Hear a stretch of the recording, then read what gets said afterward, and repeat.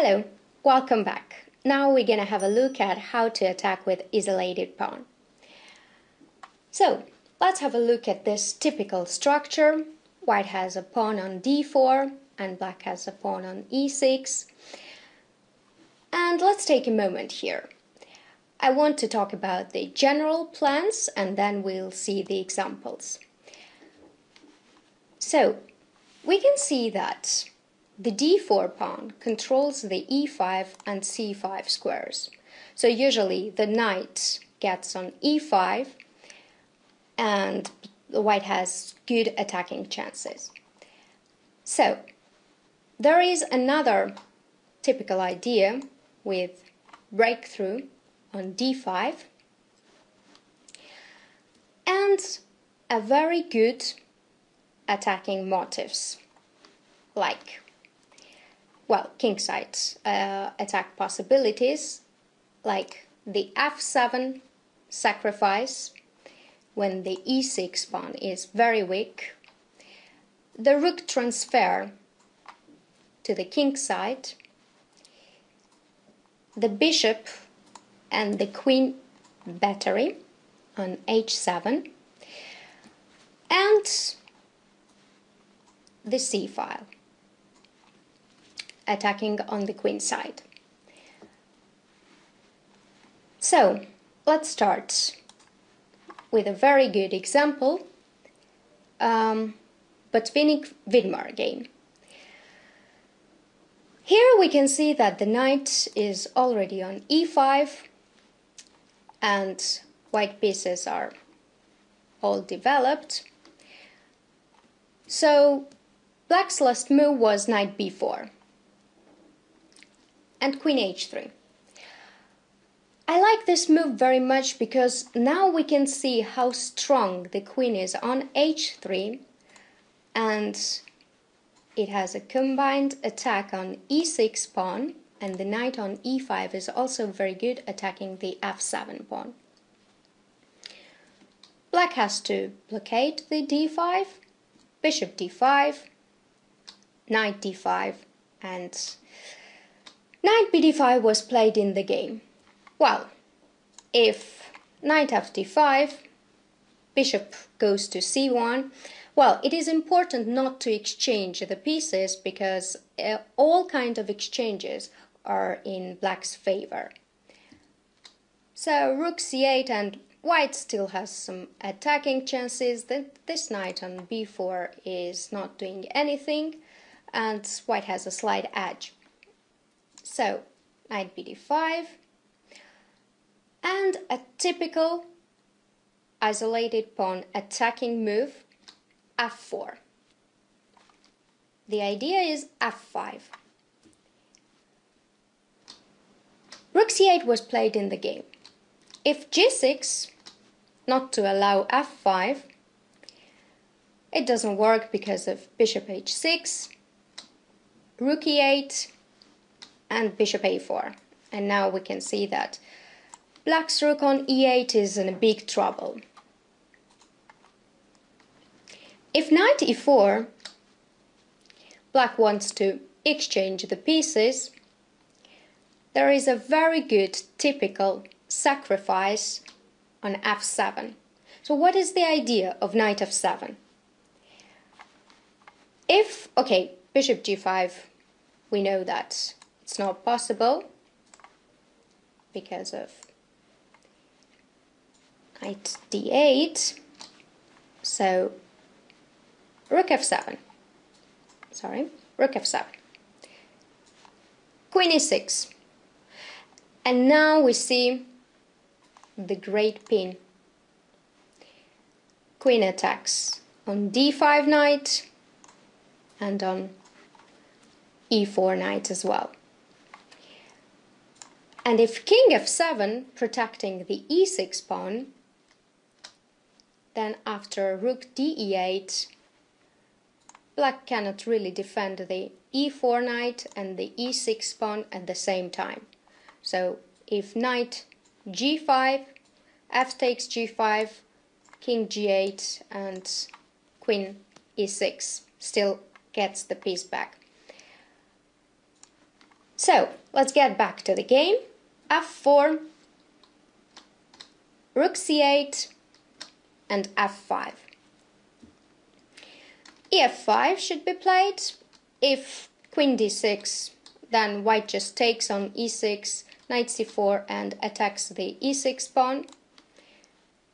So ef5, rook f5, queen d6.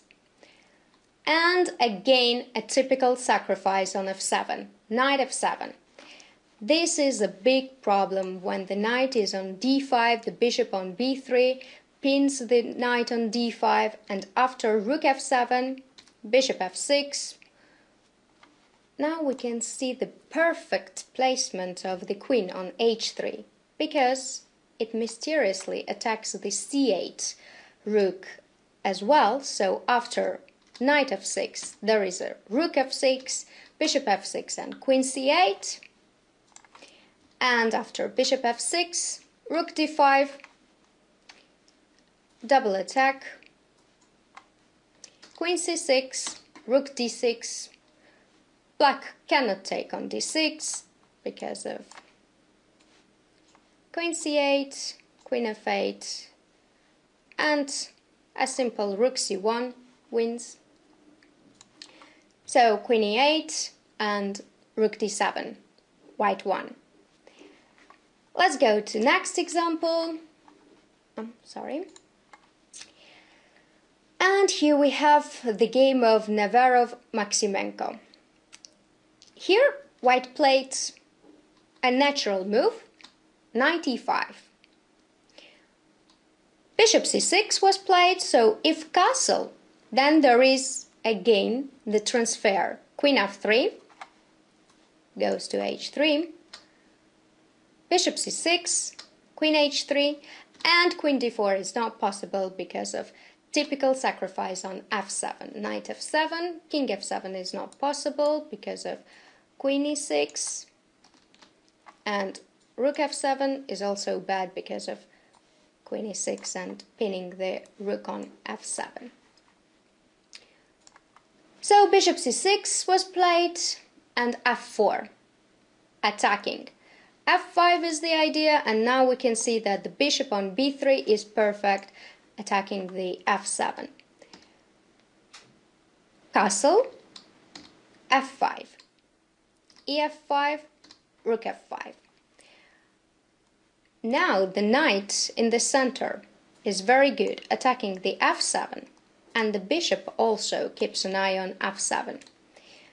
So black of course wants to cover this diagonal, knight d5, bishop e7, queen e7, queen d3 was played, white just continues to attack, rook a d8, rook a f1, f6. And now white ignored this threat after f6 uh, black attacks on e5 and rook h5 we can see that queen d3 attacks the h7 pawn and black is in trouble Maximenko played g5 g6 didn't help because of knight g6 hg and queen g6 queen g7 is only move but after queen f5. There is another rook coming on g file and white is winning. So g5, knight g4. Now we see that the king on g8 is very weak and all our pieces are very well placed. Rook d7, h4, gh4, knight e3. White transfers the knight on f5 and black is just hopeless. Let's go to another example. And here we have the game of Dlagi All. So, black wants knight c4, natural response knight e5, rook c8, Black still wants knight c4, queen d3, we can see a great battery of the bishop and the queen, and queen c7. So, black here again wants knight c4, rook f d8, and just to develop, white played bishop g5. It's a provo provocating move because the threat is now bishop f6 and queen h7 mate. So black has to play g6 and again we see the perfect transfer, transfer of the queen on h3. Queen on h3 is very well placed, attacks the e6 pawn very mysteriously because there are always, actually, black has to be very careful of these sacrifices on f7. After knight d5, bishop h6, knight c3, bishop f8, bishop f8, bc3, queen c3. Of course, white doesn't want to change the pieces, so bishop d3. Here, black had a chance to play knight b3 and keep a good compensation for exchange. And after rook a d8, take with the knight on d4. But okay, again, there is a nice sacrifice on f7, but of course it's not killing. Queen h7, bishop g7, and queen g6 with a very unclear position. But black here got very greedy, taking the d4 pawn with the queen. And now, again, the typical sacrifice on f7. Knight f7. We can see that the king is overloaded defending two pawns on h7 and f7. So when white takes on f7, now we see how weak are the pawns on e6, g6, h7. So after king f7, rook a d8. The threat is bishop g6 to win the queen on d4. Queen f6. Well, queen g7 is not possible to protect uh, h7 pawn because of the mate. So queen f6, queen h7, bishop g7, bishop g6, king e7, and bishop f5. We see that the pawn on e6 is pinned, and white wins this pawn. And if rook c6, rook e3. With the idea of doubling the rooks, and if queen h6, queen g8. Again, attack on e6, and let's see that these pieces are completely out of play. Knight on a5 is not doing anything and the king on d8 is really in trouble because there are many many threats. And if bishop f8, bishop e4, rook c4, bishop g6 with an avoidable threat on f7 and e6. So let's see another example. And here white did everything. Knight is on e5. They, uh, the pieces are developed. Bishop on g5. But this rook is not on f1. So there is no typical ideas with f4, f5 because the rook is already on d1. So what can be another idea? Another idea is to bring the rook into attack on king's side. Rook d3.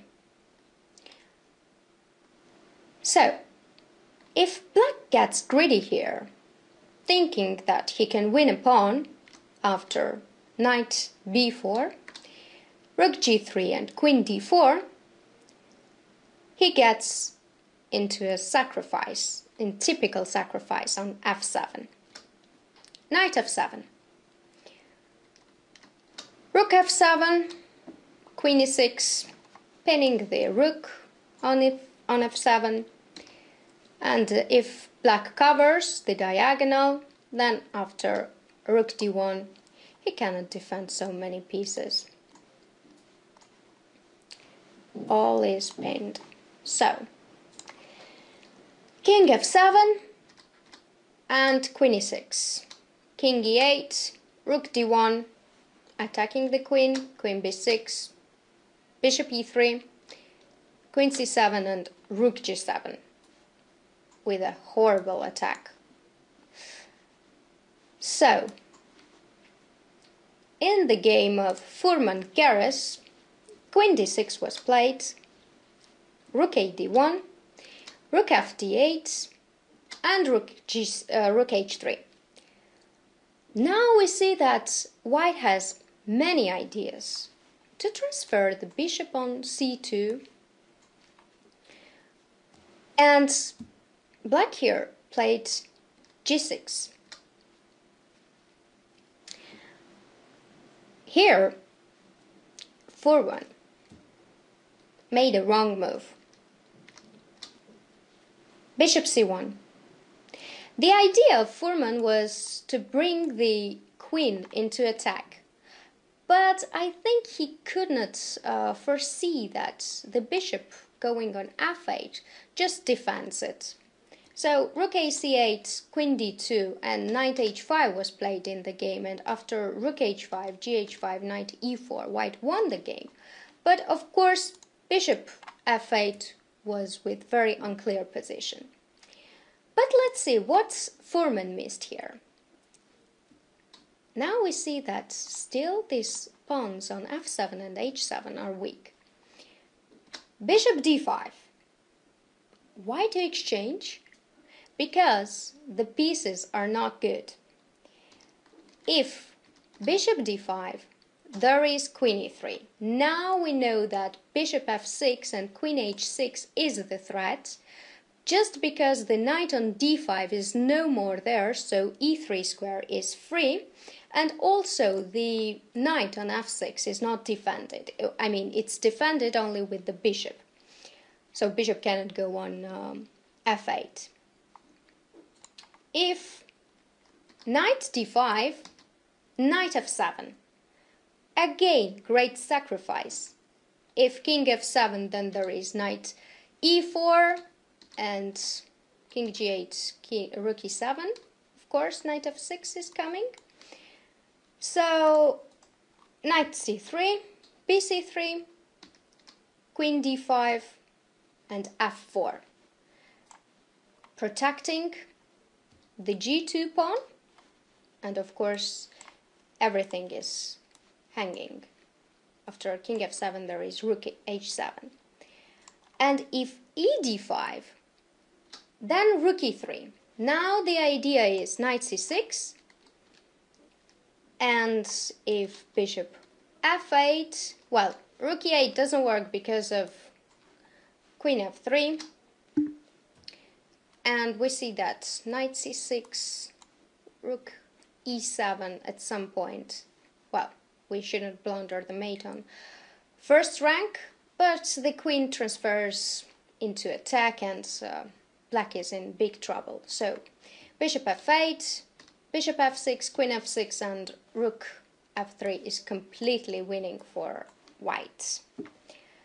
Let's go to another example. And, sorry, here we have a typical position of sacrificing on g6. So we'll quickly go with the moves here, bishop h6, rook e8, a3, knight c6 and knight g6. Well, hg should be played, bishop g6, another sacrifice on g6, af takes g6, and queen b1. Now the queen, white brings the queen into attack. 95 does not help because of d5, 94, 94, and white is not pieced down and uh, they have mating uh, attack. Let's see the next example which one which uh, shows the typical idea of bishop and queen battery. So it was the game of Korchnoi Ljubojevic, and after bishop b1, a6, queen d3, great battery, g6, bishop d2. White attacks, queen f5 and queen e3. The queen is still attacked and after queen h5 of course we don't want to exchange on h6 and knight e5 a natural move. And now we can see how good the pieces are standing. A b5 was played in the game but after bishop a5 bishop a5 queen f4 white has a great attack and let's go to the last example, which shows the queenside attack and using the c-file. This is a great example of Karpov-Geller, so Karpov played here, knight b5. Now we see that the rook is in trouble and it has to exchange itself, so rook c1, rook c1, knight d5, controlling the c7 square, knight a7. Actually, white, okay, brings the knight to c6, so knight b4 was played and a3, queen a8. And here, okay, ab, queen a7 is very complicated because the b4 pawn is still hanging and Karpov played a great move here, rook c7. And on knight d5, rook b7. And we see that all pieces are protected and white, white is just pawn up. So after bishop h6, knight c6, everything is uh, protected. Rook c8 and knight e5 with a winning position and after some moves, Karpov won this game very nicely. I hope you enjoyed this video and see you in part 2. We will have another structure of isolated pawn when the pawn is on c6. See you! Hi, this is Grandmaster Damian Lemos. First of all, I hope you enjoyed um, this video. If you would like to receive more free chess videos from us, you can just click the subscribe button below. I would also highly recommend signing up for my free mail course, The 10 Grandmaster Secrets to Dominate Chess. During this exclusive course from onlinechesslessons.net, I'll share with you my own Grandmaster shortcuts to effective attacking, defending, and growth hacks to improving your chess without um, complicated books or memorization. So sign up by clicking the sidebar on the right and I know you won't be disappointed. Once more, this is Damian uh, for onlinechesslessons.net and I'll see you um, in my videos. Thank you.